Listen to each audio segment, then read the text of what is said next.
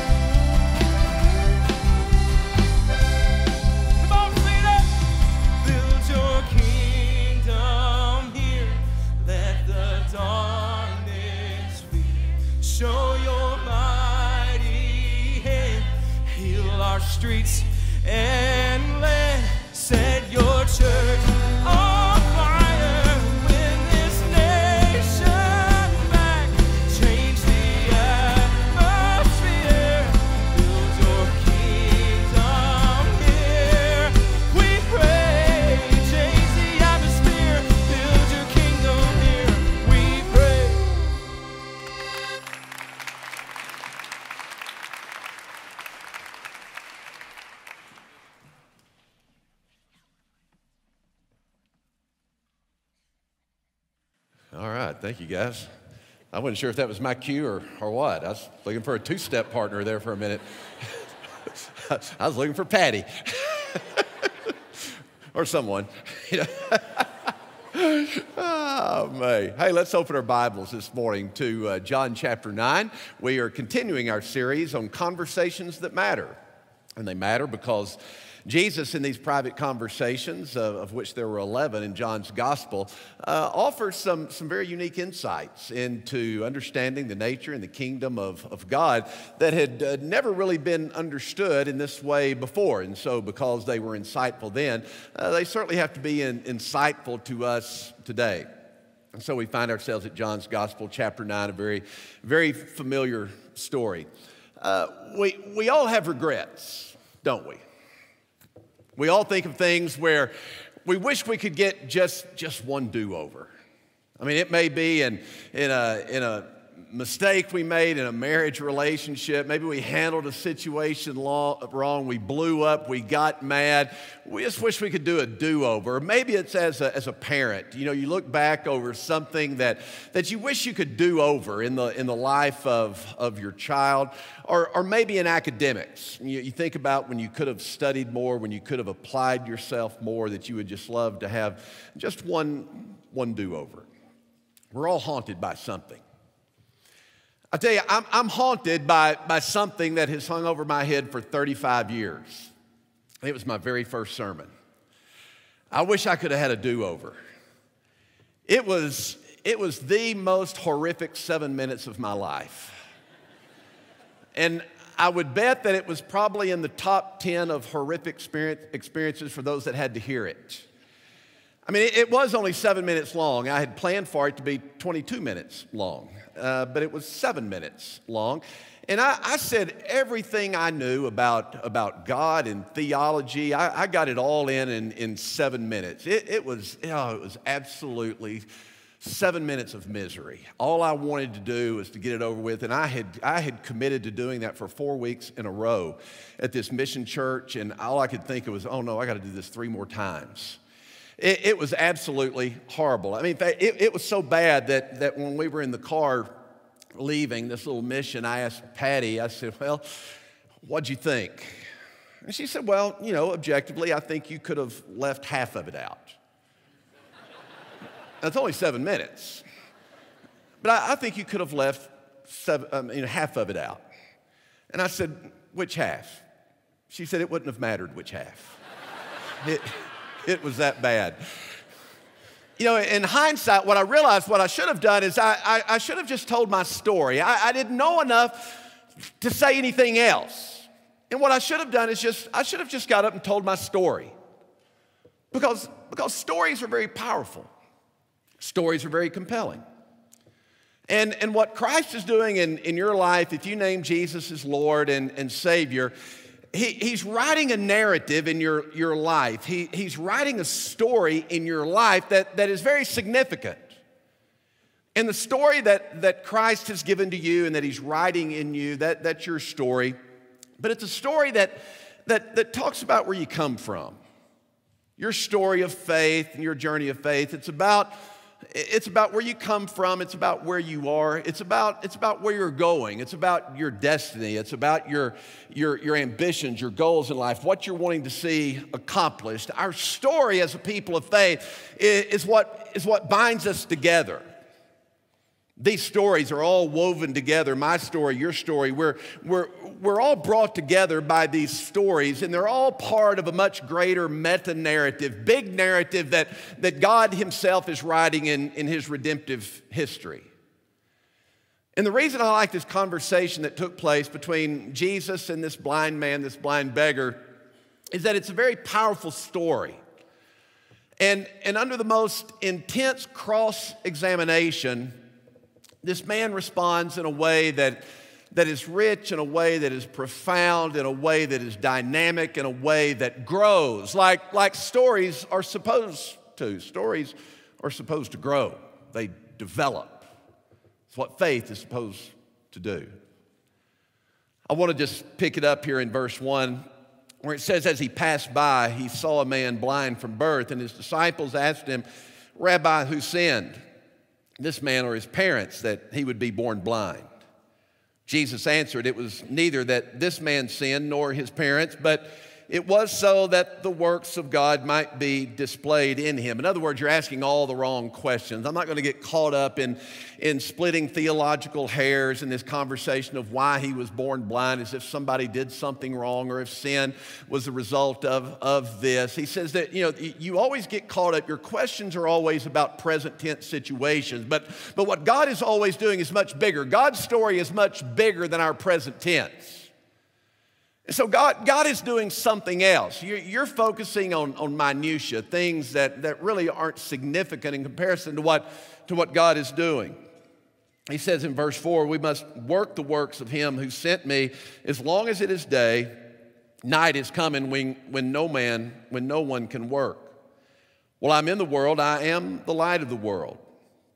When he had said this, he spat on the ground and made clay of the spittle and applied the clay to his eyes and said to him, Go wash in the pool of Siloam, which is translated sent. So he went away and washed and came back seeing. Therefore, the neighbors and those previously, who previously saw him as a beggar were saying, Is not this the one who used to sit and beg? Others were saying, This, this is he. Still others were saying, No, but, but he is like him. He kept saying, I am the one.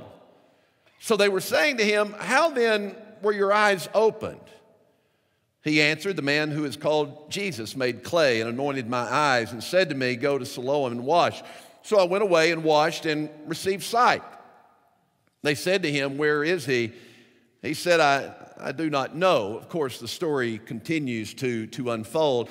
And we would have to know that the Pharisees, the religious leaders, are upset because Jesus has healed once again on, on the Sabbath day. He has violated their, their interpretation and understanding of, of the Sabbath law.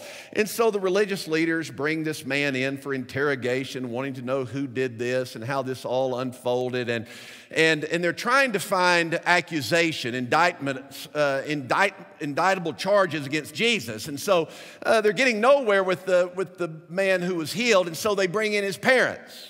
The text says that his parents were, were in fear of the Jews, and so when they asked the when the religious leaders asked the parents about it, they said, He's of age, he can answer for himself.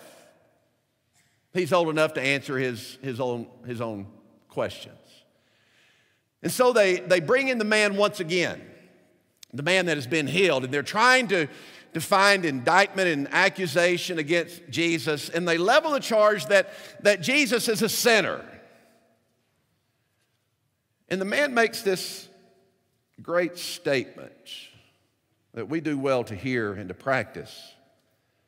He then answered, this is in verse 25, he said, Whether he is a sinner, I do not know. One thing I do know one thing.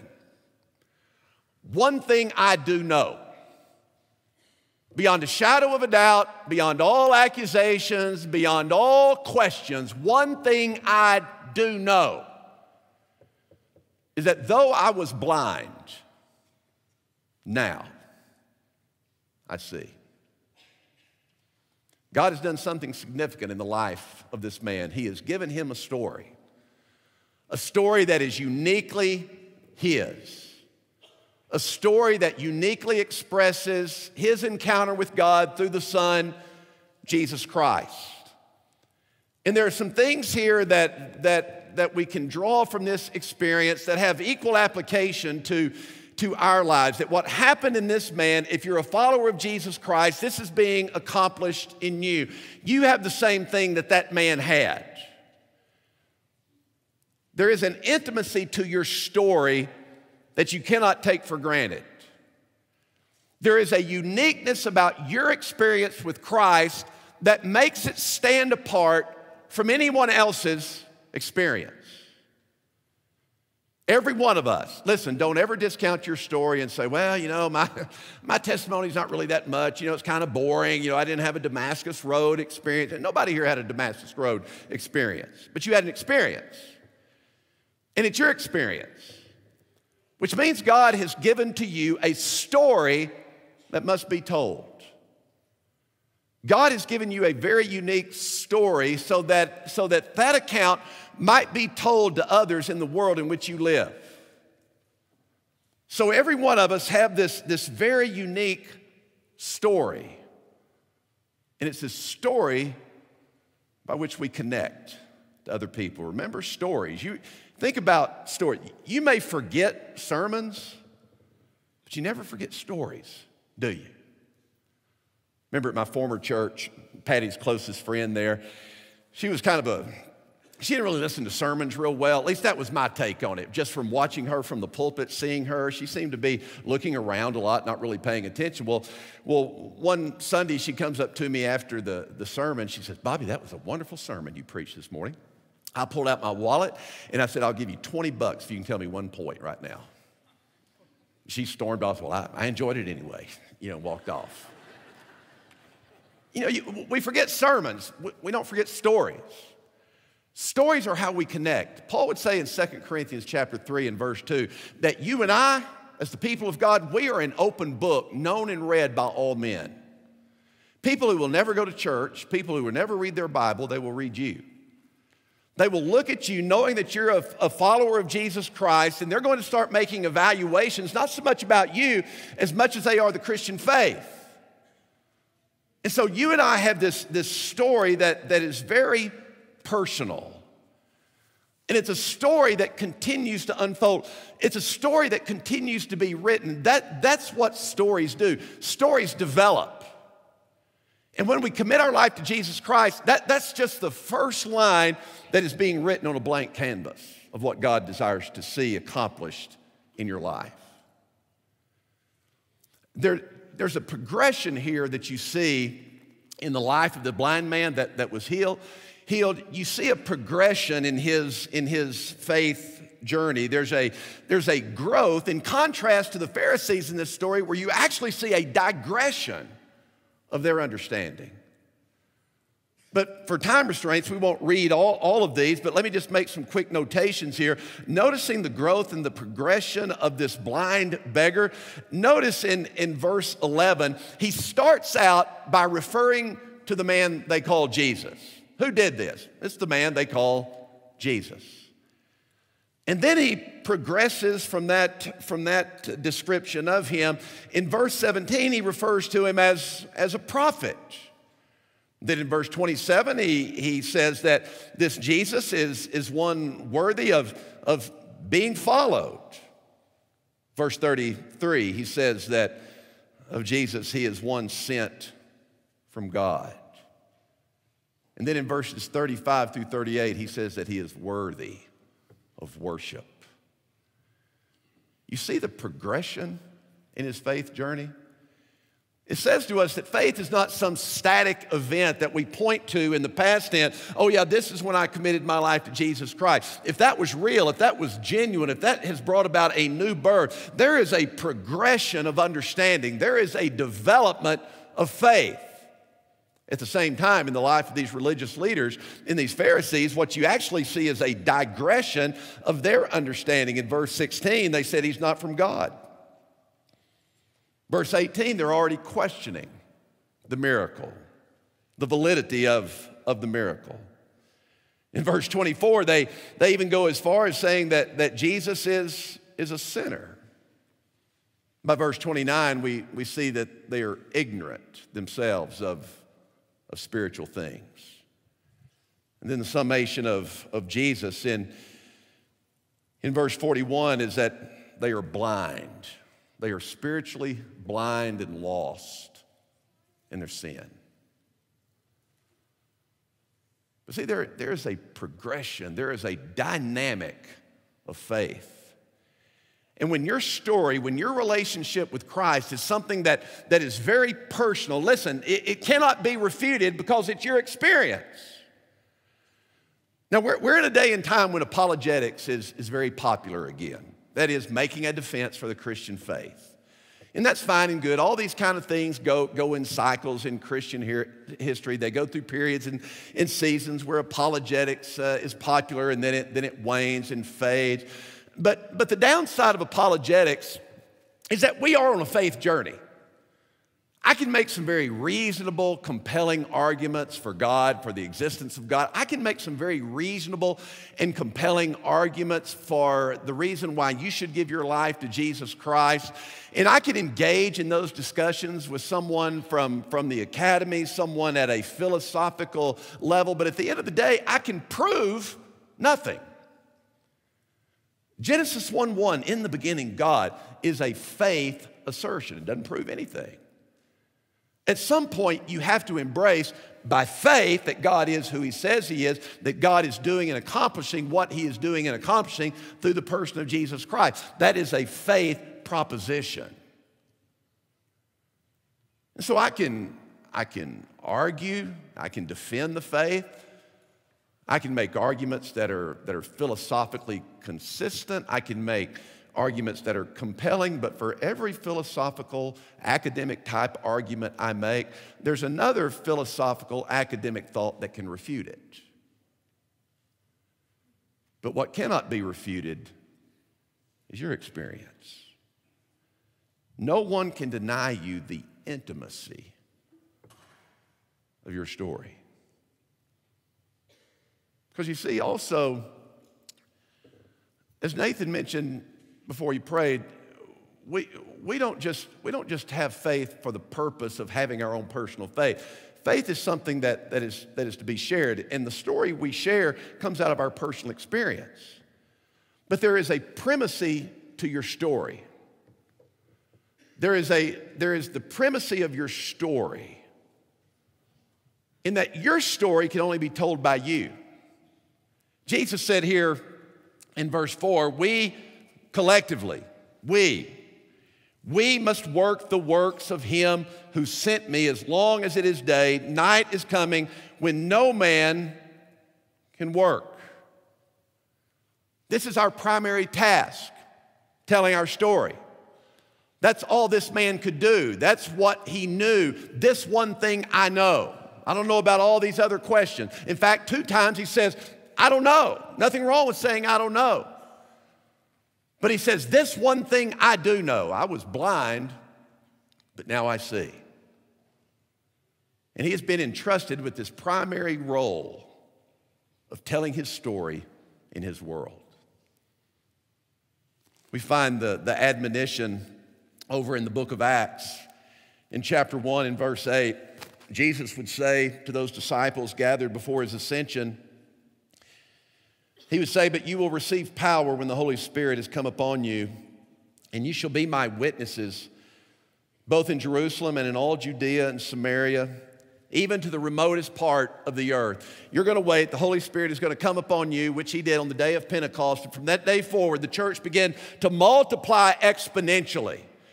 The church began to grow and to multiply. Stories of faith began to grow and multiply exponentially to where we are today, 2,000 years later, with your story and my story. And so, our primary task is to go into our world, and wherever our feet are, we're telling a story. We're a book, an open book, known and read, as Paul would say, by, by all men. See, that, that's, that's how we accomplish the mission. The mission is not accomplished in here. The most effective place of communicating the gospel, the most effective platform for the story of the gospel being told is not from a pulpit. The most powerful telling of the gospel story doesn't come from me in church, it comes from you outside. The proclamation of the gospel, I don't diminish it, it is important. It must be done from pulpits. It has a rich history, 2,000 years, pulpit proclamation of the gospel, the word of God. But the mission of the church is not accomplished in here. The story of the gospel is to be told by you in your world. See, every one of us walk into a world outside this building. Every one of us are, are given a unique personality. Each one of us have a very distinctive life. We have a very different circle of friends. So, every one of us, we walk out of this building and we walk into our remotest part of the earth. We walk into our respective worlds. And it's there that we tell the story of the gospel. It's there that the story of the gospel is lived out. It is there where we are the missionary, where our feet are planted. It's not just your story, it's a story that you have been given for the benefit of connecting with others. It is a story that is irrefutable. It is a story of power, which brings me to a final truth. Not just the intimacy of the story of your story and the primacy of your story, but the potency of your story. You see, there, there is a potency, there is a power in your story, not, not because of you, actually as unique and distinctive as, as your story is, as exclusive as your story is, written for you and your heart, so that you might be effective in your world. The potency and the power of that story is God's story, the gospel story. Because I know what happens. I know, I know what it's like out there. I engage, I engage the world outside this sanctuary on, on a daily basis. I'm intentional about doing so. But whenever we have opportunity outside of these sanctuaries, whenever we have opportunities to speak of faith, whenever we have opportunities to talk about our story, sometimes in our mind we think, well, this is in the right time. This isn't the right setting. This isn't the right context. And all that is, is fear welling up in us. Because what we fear is that somebody, if I start talking about this, somebody might ask me a question that I can't answer. That's okay. Verse 12, verse 25, the guy says, I don't know. Nothing wrong with saying, I don't know. But we're afraid someone is going to ask us a question that, that we, can't, we can't answer. Or we think that we have to, we have to say it just the right way. But the story of faith is compelling not because of your intellectual prowess. It's not because you're able to articulate it so well. There is potency in your, in your story because it is the story of the gospel that dwells in you. It is the story of the gospel, the resurrected Christ, that is transforming you. And so, so the story is potent in and of itself. It, it's not the messenger, it's the message. Do we get that? It's not the messenger, it's the message. Therein lies the potency. The late Dr. Fred Craddock, professor of homiletics at Emory University and New Testament, once told the story of a group of fraternity brothers who put together a, a skit. It was some sort of talent show, talent night, and, and this particular group of fraternity brothers decided they were going to do a parody, a parody, a skit of, of evangelical Christianity, which frankly is pretty laughable sometimes, I agree. But, but they were going to do a, a parody, a skit. They were going to have someone that would lead worship songs. They, they had someone that was going to preach a sermon. And they, they had someone that, that, you know, they had fraternity brothers that were going to go up, be out here and they were going to be the, the, the amen section, the cheering section. Oh, they were making a mockery of the whole thing. You know, they, they were standing and raising their hands while the music was going on, you know, having fun and laughing. And then, and then the guy gets up and actually starts preaching a, a sermon. He starts talking about Jesus crucified, dying on the cross for your sins, resurrected, that he's going to come again someday. You better be prepared. They were just making a mockery of the, of the whole thing. They're down here shouting, Amen, brother, bring it on, bring it on. As he came to the end of the message, that, that fraternity brother who was pretending to be the pastor even went through the mockery of an invitation. But unbeknownst to them, out in the foyer of that fraternity house was, was a custodian who was sweeping and cleaning, who was captivated by the sermon and this message of a crucified Savior who died for his sins, that is coming again and will judge all of mankind. And during that mockery of an invitation, Fred Craddock said that man came down to the altar and gave his life to Jesus Christ. You see, the messenger was mocking, but the message remained. Dr. Roy Fish, who was my professor of evangelism for two classes at Southwestern, Southwestern Theological Seminary back in the, the 1980s. He too is deceased now, but Dr. Fish told us every semester about this one group of students that went out, which he required if you were in his personal evangelism class, you actually had to go out and do personal evangelism and then come back and write verbatims about the experience. But every semester, he told the story of four young men from his personal evangelism class that went down to uh, a kind of rundown part of, of Fort Worth. It was the red light district, just to get to the chase. And this one student, seminary student, was talking to a, a prostitute on a street corner outside a bar. And he had one of those old Billy Graham four spiritual law tracts that, that were popular in that day and time. And that seminary student was there with that four spiritual laws, and he was going through this, this track with this lady, and she was nodding and acknowledging that she understood. And they came to the end of that track, and he said, Ma'am, would you, do you feel like this is something that you're prepared to do in your life? To give your life to the Lord Jesus?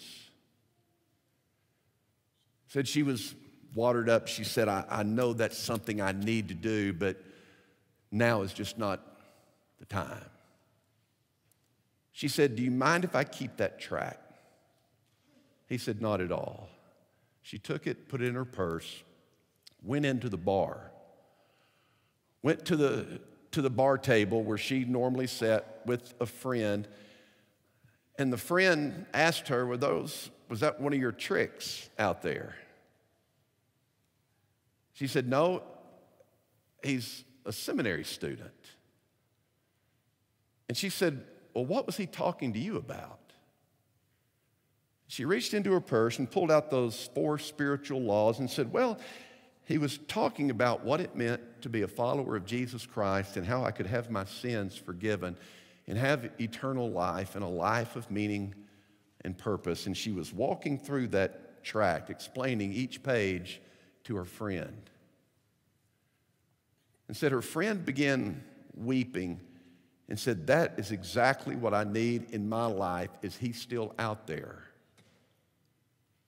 And they went out together and found him, and that one prostitute led to the Lord by another prostitute gave her life to the Savior. See, it's, it's not you, it's, it's not me. There, there is a potency in the message. You and I have a power of presence. When you are a devoted follower of Jesus Christ, you have a power, a potency of presence. Just by being committed to the Lordship of Jesus Christ wherever you're standing, wherever you find yourself at any given moment. A potency that can impact lives in ways that you never imagined on a timetable that you can never imagine.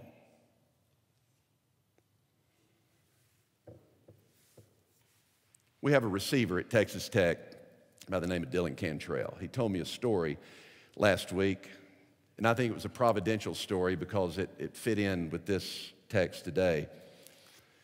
Dylan's dad, his name's Kenny, Kenny Cantrell, successful businessman in, in East Texas in the Tyler area. Kenny grew up in a, in a kind of rough environment, didn't grow up going to church or, or anything like that. Had a sister die when he was 12, 12 years of age. Kenny Cantrell, Dylan Cantrell's father, both of Kenny's parents, his mother and father, died his senior year in high school, six months apart, both of cancer. You imagine what that was like. Both your parents dying in your senior year, six months apart. Because Kenny didn't grow up in church, family didn't grow up, the family never, never went to church. There, there, there was a, a pastor However, Lyndall Watson there in, in White House, he just happened to know Kenny's father. And, and when Kenny's father passed away, Lyndall Watson, the pastor, he stepped in and said, Listen, I, I know they don't have a church home, but I know, uh, I know Kenny's father, and I'll do, the, I'll do the funeral service. Well, after the funeral, everybody had gone to the home as, as, as they normally do. And, and that was the last place Kenny's dad wanted or Kenny wanted to be. He went outside shooting baskets in the driveway. He didn't want to be around family and friends inside that house, and so he just started shooting baskets. But Lyndall Watson, the pastor, did the service. He pulled up to the house and saw Kenny down in the driveway, and so he walked down to the end of the driveway and just stood under the basket. Ball come through the basket, he'd just throw it back out to Kenny. Pass after pass after pass. Kenny didn't speak. Lyndall didn't speak. The pastor didn't speak. Pass after pass. 15 minutes go by. 30 minutes go by. 45 minutes go by. They haven't spoken a word yet. The last car finally drives off. Without saying a word, Kenny Cantrell drops the ball and walks inside, never says a word. Imagine what that kid was going through. A year later, he marries his high school sweetheart. A year after that, their first child is born. His wife says, I grew up going to church. We're going to start going to church. We're going to raise our kids in church. Kenny Cantrell, who had never gone to church. Only pastor he knew was this guy two years ago that stood, in a bas- stood under a basket and threw him the ball for an hour. Kenny made the statement well, if we're going to go to church, we're going to go to that church where that guy pastors that threw me the basketball. He would lead Kenny to Christ, he would become his mentor he would become a father figure to him. Didn't preach at him, didn't start quoting Bible verses at him. There was just potency, a power in his presence. Kenny never forgot it. I'm saying to you, you have a story. You have a unique story. And it's a story that has been given to you to tell. Because there is a power that is in you, there is a potency that is in you that can shape and influence the lives of people. The only one that can tell your story is you, no one else. Tell your story, tell what you know I was blind, but now I see. Father, how grateful we are for the stories that you give to us, for the testimonies of faith that are exclusively ours, that are unique to our story, to our experience, to the world in which we live. We know that our story must be biographical. It is a story that must be shared. So, Father, I pray that even as we open this altar this morning,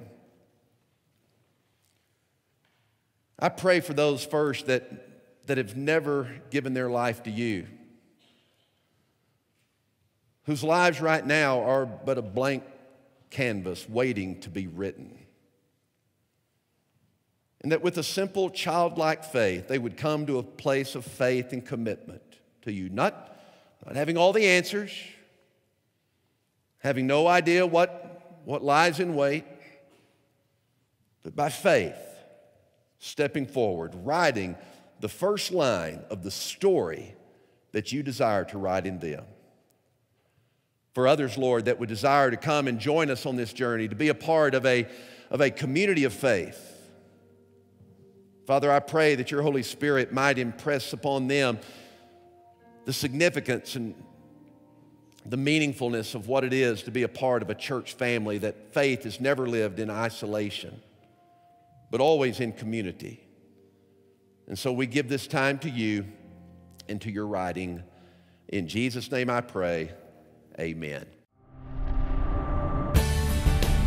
For more information, give us a call or visit us online at firstlubbock.org. Check out our other worship times. Sundays at 8:15 or 11 a.m. Experience these online or come visit us at Broadway and Avenue V in Lubbock. Download our mobile app to experience even more from First Lubbock. Thanks for watching. God bless and have a great week.